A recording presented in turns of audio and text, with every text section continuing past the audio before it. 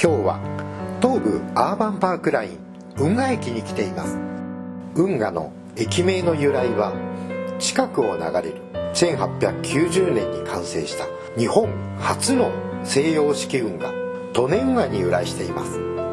現在は利根運河水辺公園として市民の憩いの場になっています。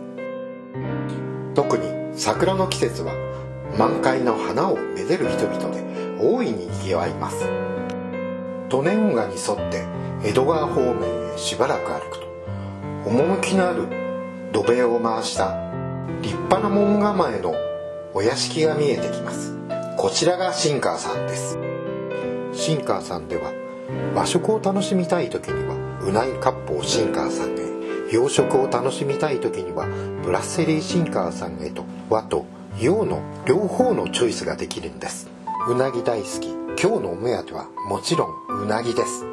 なのでうなぎ割烹新川さんへ案内図に従って行ってみましょう。風情のある玄関を入り2階のお部屋へ案内されます。日常を離れる素敵な空間です。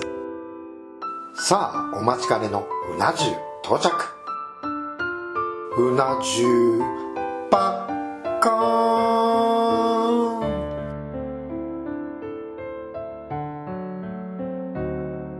肝水パッカーン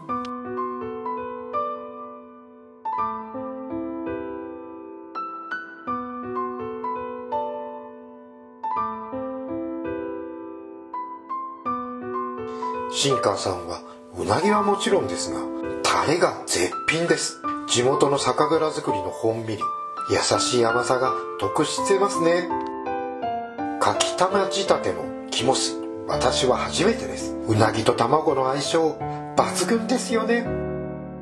あっという間に完食。ごちそうさまです。満足。